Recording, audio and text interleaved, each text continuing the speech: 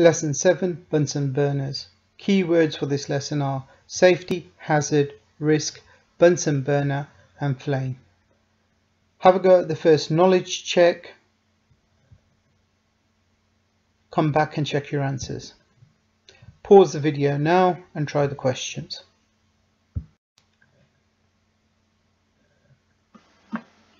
Answers to the Okay, first let's knowledge go through check. the answers. Question 1.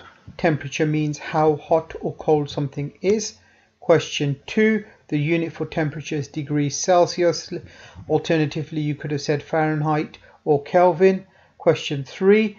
The button that zeros a balance is the tare button. Question 4. Identify the unit used in science for mass. It's a kilogram. Question 5. State the unit for volume, meters cubed, or you could say centimeters cubed. Question 6. A risk is a problem that will occur. Question 7. A hazard is an object that can cause a problem. Question 8. Identify the first letter of the Greek alphabet. It is alpha. Safety. When using any piece of equipment in a science lesson, it's important to follow safety instructions. This is especially important when using the Bunsen burner. The Bunsen burner was invented in 1855 by a German scientist named Robert Bunsen. The hazard from a Bunsen burner is the flame and the risk is that it can cause burns or fires so you need to be extremely careful when using a Bunsen burner. Design and handling. The shape of the Bunsen burner gives a streamlined design to enable the best performance and has been altered very little since it was first made.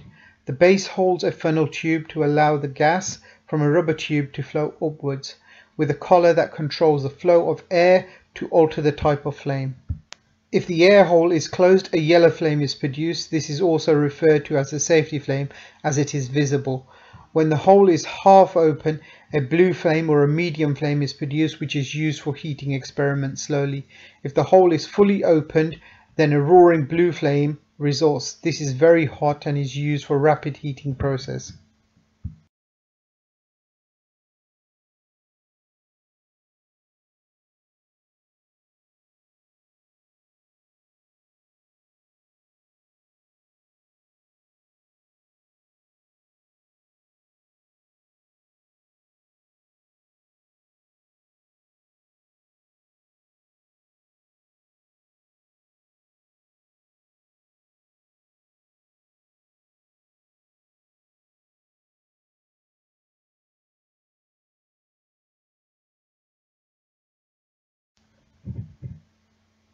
Learning activity. Label the Bunsen burner using the keywords given.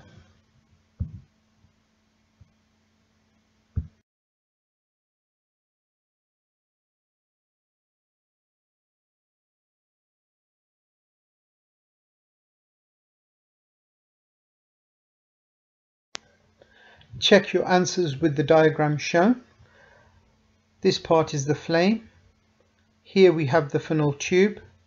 Here we have the collar, the air hole, the base and the rubber tube.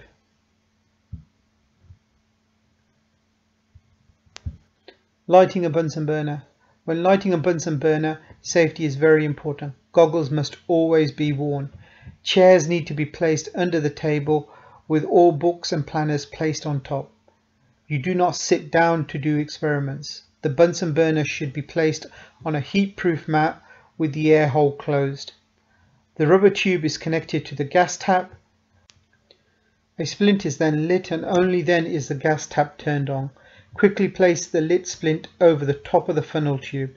Once the Bunsen is lit, put out the splint using the heat-proof mat. Turn the collar at the Bunsen burner to change the type of flame. Half open for medium flame, fully open for roaring flame, to put the flame out, turn the gas tap off. If you need to walk away from a lit flame, turn the collar so that the air hole is closed and it is on the safety flame. Never leave a flame unattended if possible.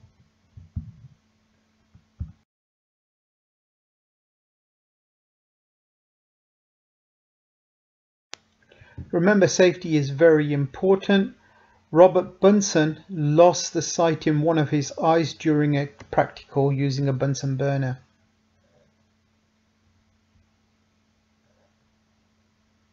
And what we've covered here is basic lab safety.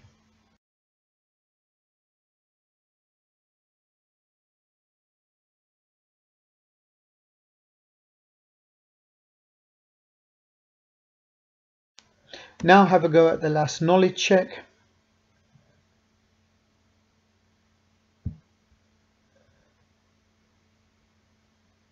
Pause the video and try the questions.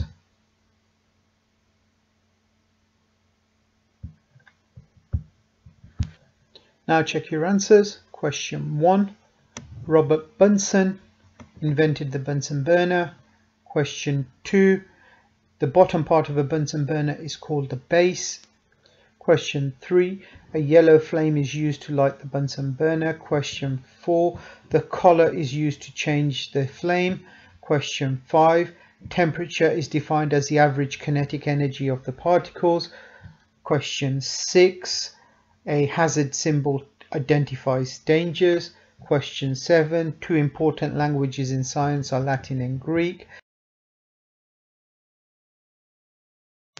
Question 8. You should always wear goggles when doing experiments. Question 9. The Bunsen burner was invented to provide a very hot, clean flame to carry out experiments.